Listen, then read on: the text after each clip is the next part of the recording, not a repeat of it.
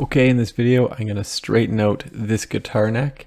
I got this guitar used in, I would say 2017 for, let's say 350 Canadian. It is definitely not an Iron Maiden Fender. It is super fake, but it's a, it's a nice fake, I would say, but definitely fake. So I got this when I was working out of the country for a bit. So I got it so I could take it apart, put it in my suitcase, put it back together, and sit in my hotel room, but you can see the difference between high and low E strings here. There's a lot more there's a lot more wood on the low E than there is on the high E. So you can see when I push down the sixth string, it actually goes right onto the edge of the fret. It has a tendency to roll over the edge, whereas if you do that on the low E, that's not the case at all. It's nowhere near the edge of the fretboard.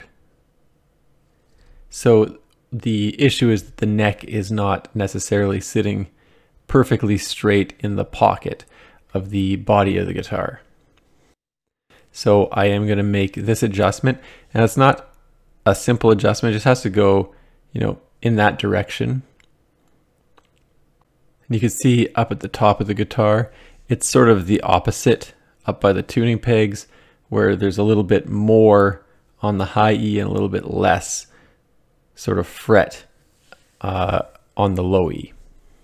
The other thing you see is this one screw doesn't actually sit flat on the mounting plate. It's sort of beveled up and that's because these holes aren't drilled very well. The person who sold it to me said it was a, a made in Mexico fender body and then the neck is a, a Mighty Mite neck. So I'm not sure if he drilled everything himself, but he didn't do a good job of it, I could tell you that. So I've loosened up all the strings. I'm just going to leave everything attached, but they're loose enough that they're not going to pull on the neck or cause anything to twist out of shape. So I'll just throw everything in super fast motion here. And you see the screws that are closer to the bridge, they're actually coming out on sort of a strange angle. I think the neck is also kind of drilled on a strange angle, but definitely the body is sort of very poorly drilled. So no real confusion here, just four screws holding everything together. There's the metal plate and that's about it. So you can see the holes in the body are, are tight. You can't just drop the screw through. So my move here is actually to enlarge the holes that are in the body. The screw holes in the body don't necessarily need to be super tight on the screw. Like you don't have to screw them through the body. And you also don't want those screw holes massive, I guess. So I'm just taking the one size up for the drill bit and I'm just dropping that through the, the screw hole and just sort of make it a little bit bigger. So the screws can actually drop in. You don't have to screw them through the body, but they're still tight enough that they don't really shake around too much. And just that little bit of play should give the, the neck the movement it needs. But you can see, I'll show you the, the one hole that's way off here. So the top two holes are good. The bottom right hole is pretty good. It's the bottom left hole that's way off. So you can see that it's it's very much off-centered. Try and get everything lined up here. So you see how off-centered it is. So I actually do take the drill bit one more time and I upsize those holes again so I don't think you'd want to go to the size I did.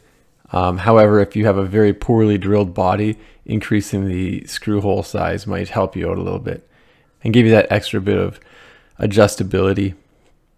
Anyway, throwing it in fast motion again. I'm just going to put the screws in loosely. I'm not going to tighten everything all the way down. And again, you can see the screws are going in a bit of an angle. Like I said, I don't think the person drilled the neck out very well either or the body, but that's okay. It's all going to come together here. So I'll back the screws off a little bit. So I really just want the screws snug, but loose enough that I could still move the neck a little bit. So, and you can see that when I pull the neck towards the left, it adjusts the strings in the direction that I need it to go.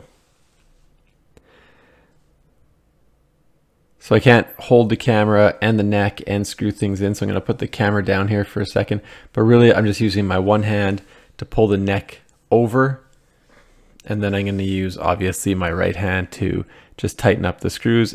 And just like putting a tire on your car, just tighten one screw a little bit, go to the next one. Don't crank one all the way down and then crank some other one all the way down. Could put the neck on a strange angle. And there's the result. You can see that it was able to move the strings, straighten everything up, and now it's looking pretty good overall. And now as well, all those screws are sitting nice and flat. So definitely just enlarging the holes a little bit on the body of the guitar gave me that extra adjustability I needed to be able to move the neck around a little bit. But now I am going to have to adjust the strings and stuff like that. Anyway, thanks for checking out my video. Don't forget to like and subscribe.